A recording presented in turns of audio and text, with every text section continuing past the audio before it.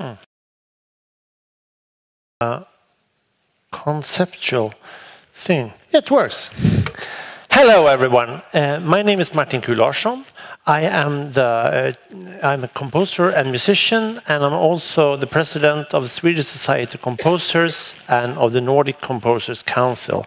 And I'm in the board of STIM, the Swedish uh, Performance Rights, Rights Society. And I'm going to try a new concept, so I'm as terrified as you. Um, and we'll see. This works, yes. Uh, up to this date, the normal way to present art music was to present contemporary music, new music written specially for the concert. But in 1829, Felix Mendelssohn uh, introduced the music of Johann Sebastian Bach to the audience in the Matthew Passion in Berlin. And since then, the normal has been to present old music.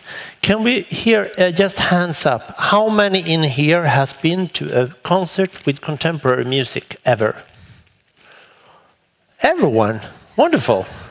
I was wrong, it's not inaccessible. How many in here can name three Swedish or Norwegian or Danish living composers? Hands up. Oh, that's not as many. well, you can name one now. I'm Martin for, for the future. So we have some problems. We have the preconception that contemporary music is inaccessible. It's not uh, ordinary people cannot listen to it. It's super nerd music only for super educated super nerds. And that's why you can't listen to it. But uh, the second problem we have is that you have to be a detective to find a place where it's played. Uh, you have to have secret information to find a little cellar or odd theater where they play music. And if you happen to go to a concert hall, you find that only 10% of the music is uh, contemporary, the rest is usually uh, made by dead people from Germany. Dead men from Germany, I should say as well.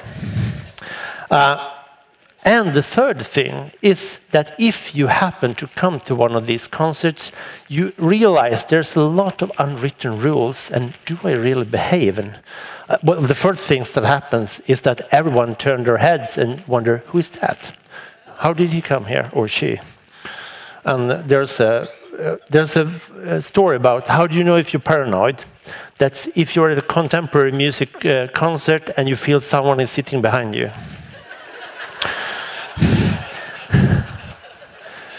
So we have to go to where the audience is. We have to see where they are. And if you listen to these, you can quickly scribe down these websites and you can find this is what contemporary music sounds like. And the only thing I can say about today's music is that it's extremely diverse. The second thing we have to do is that uh, it's so unusual, so we have to go where the audience is. And the festival Sound of Stockholm, that's next week in Stockholm, is in the Culture House in the center of Stockholm. We must also urge for the concert halls that cost about 2 billion Swedish kronas a year to take the responsibility and present some music or a little more music.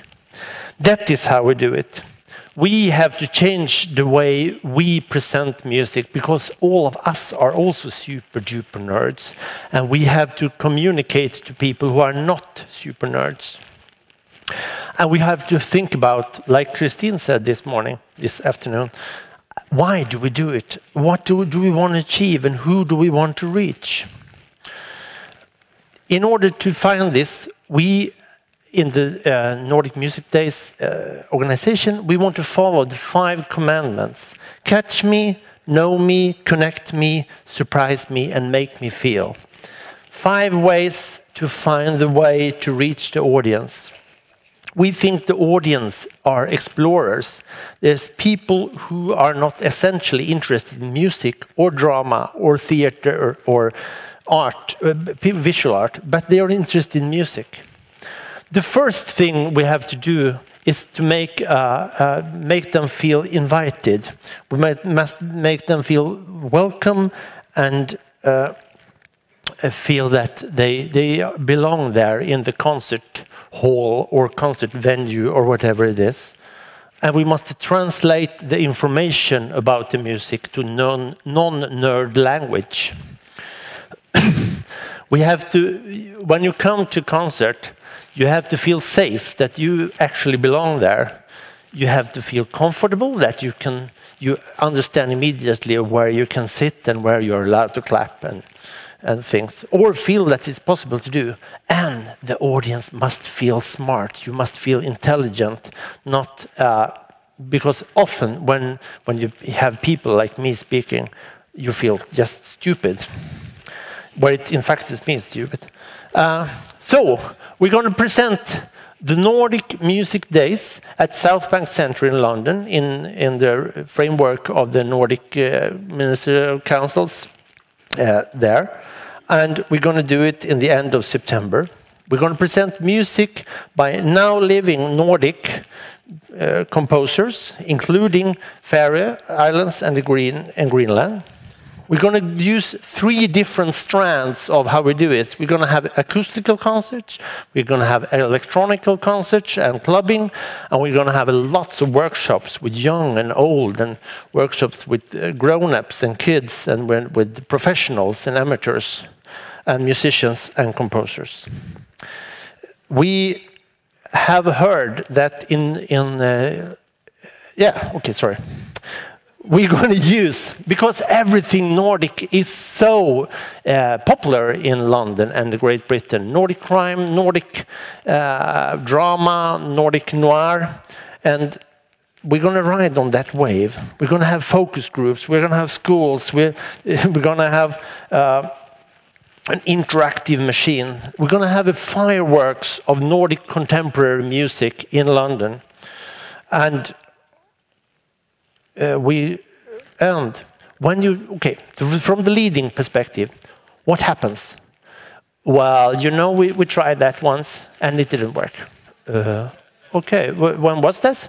I was in 1982 it's dead end don't do it. Or no it's too expensive to go to london.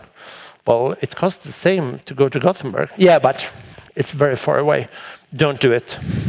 And actually, we don't do it that way because the audience doesn't want that. And um, artists doesn't want it. It, uh, it uh, disturbs the artistic process. And actually, society doesn't want it at all.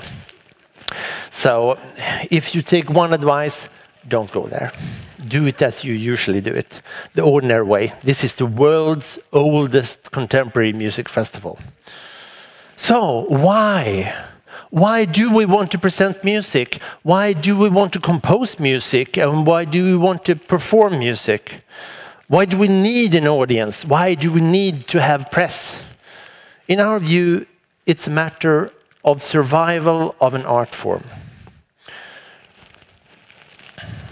I'll let you dive on that for more.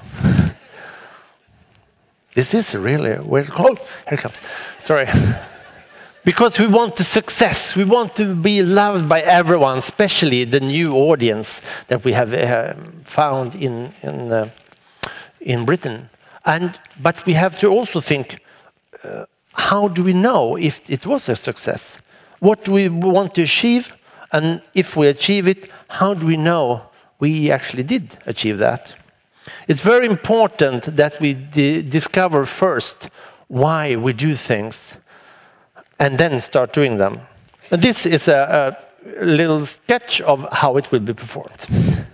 We will use a lot of pop-up concerts. We will use spaces, in between spaces, closed spaces, uh, things that uh, places where audience are not usually allowed, and where they are allowed, of course, in cafes. And we're going to be outdoors, and we want to be on the roof. We want to be on on the uh, canal we, but we're going to have ordinary concerts also where people are actually sitting and paying a, paying a fee and having just uh, music all the time, very carefully introduced in a good way so everyone feels happy and smart and welcome.